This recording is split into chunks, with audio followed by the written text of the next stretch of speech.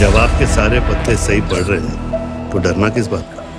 डराने वाली कोई बात तो की नहीं है आपने? एक खेल खेलिएगा हमारे साथ। ज़िंदगी का मज़ा हमने बहुत कम लिया है। अब वापस लौटा हूँ। ज़िंदगी भर का मज़ा लेना जब काटने की औकात नहीं होना तो भोंकना भी नहीं चाहिए खतरी। मैं आपका आदमी हूँ। मेरी वफादारी आपके साथ है। सितारों की तरह हम सब में आग कई चिराग बनकर दुनिया को रोशन करती है। या फिर जंगल की आग बन के रास्ते को जलाकर राख कर देती है।